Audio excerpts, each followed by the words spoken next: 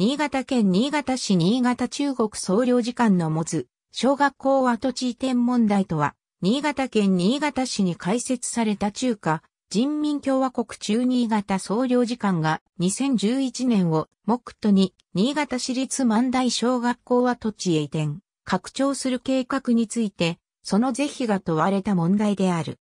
同跡地は JR 新潟駅から徒歩8分ほどの同市中央区、東万代町9の2にあり、面積は約1万5000平方メートルである。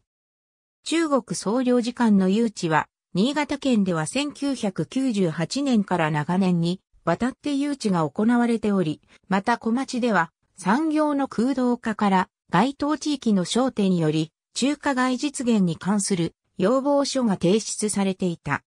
時メッセに開設された総領事館は後に中国側の希望で、新潟市立万代小学校跡地に移転する準備が進められていた。十分な説明がなされないまま移転準備が進んでいったが、尖閣諸島中国漁船衝突事件による日中関係の悪化の結果、移転反対の声が高まり移転計画は凍結された。篠田明新潟市長は土地売却の方向性を示していたが、後に開かれた新潟市議会では土地売却方針を見直す請願を複数採択し、最終的には中国領事館への売却は市民の反対から取りやめになり、跡地には高級複合マンションのロイヤルパークス ER バンダイが2018年に設置された。東京都や名古屋市でも同様に中国大使館、都内一等地買収問題、名古屋中国総領事館の国家公務員宿舎、跡地移転問題が起きた。2009年、2010年、2011年3月22日、新潟市議会は土地の売却方針を見直す、請願第49号、53号、54号すべてを採択した。2015年公募型プロポーザル方式による売却方針が決定。また、中国領事館への売却は市民の反対から取りやめとなった。同年3月24日、大和ハウス工業株式会社、株式会社リビングギャラリーへの売却が決まり、跡地には高級複合マンションの建設が決まった。2018年跡地にロイヤルパークス ER バンダイが完成。2011年3月22日、新潟市議会によって採択された請願の詳細は以下の通り。反対する周辺住民や市民の不安を放置したまま、土地売却を強行しないこと。外国への土地売却に関しては、国益の損失につながる恐れがないか、最新の注意を払い、慎重に検討して対応すること。地域の安心、安全のために十分な話し合いをすること。市民の財産である万代小学校跡地の売却については、白紙に戻し再検討すること。反対する周辺住民や市民の不安を放置したまま土地売却を強行しないこと。中国への土地売却に関しては断固白紙撤回を求める。新潟県は1998年に中国総領事館新潟誘致促進協議会を設置するなど長年にわたり中国総領事館の誘致活動を行ってきた。新潟県選出の田中真紀子、田中直樹衆議院議員なども積極的に誘致活動を行ってきた。その結果、2010年6月24日に本州日本海側発の総領事館として開設した。新潟県への設置決定の際、王毅前中日中国大使閣下のお取り計らいにより、当時外交部副部長でいらした太平国閣下に前向きにご検討いただけたこと、また、多くの方々から誘致等にご支援いただいた成果の賜物であり、中日中国大使、蔡天外学科、日本政府代表、谷内翔太郎様、外務省をはじめとする関係者の皆様のご尽力のおかげであると、心より感謝申し上げます。との声明が、県から出ている。新潟市も、協議会に参加するなど、誘致に肯定的な立場をとっていた。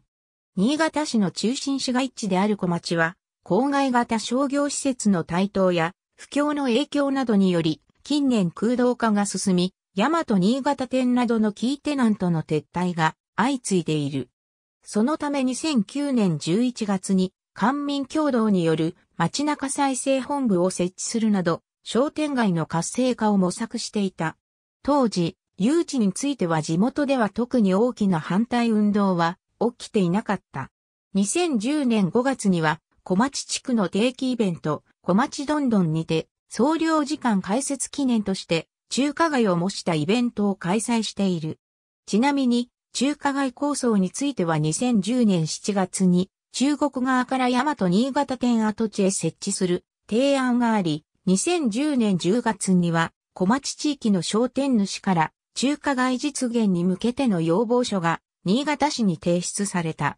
時メッセに開設された総領事館であったが、中国は単独の建物をとの希望から総領事館の移転を計画。その第一候補地として、新潟市立万代小学校跡地を選定。2010年8月に敷地取得について新潟市に打診したに移転。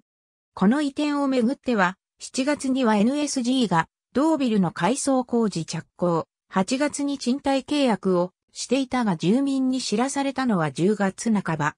10月15日に開催された移転説明会において、11月1日からの契約との説明があったにもかかわらず、実際にはそれよりも前に移転が実行され、説明会での住民の反対を押し切る形となった。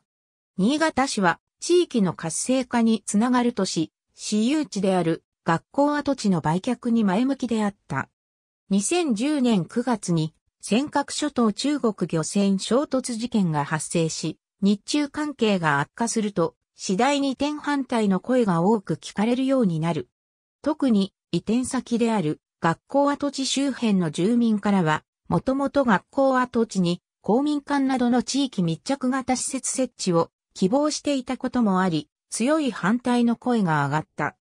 そのため、新潟市は現時点で地域住民の理解が得られないとして2010年11月18日に敷地売却の一時凍結を決定した。今後、日中関係をめぐる世論が好転すれば、再び検討するとしている。2010年11月29日、市民団体、中国領事館問題を考える市民の会が、市内外14,227名の反対署名とともに、以下の内容を新潟市議会に請願した。県名、在新潟中国総領事館への私有地売却について第一項反対する周辺住民や市民の不安を放置したまま土地売却を強行しないこと。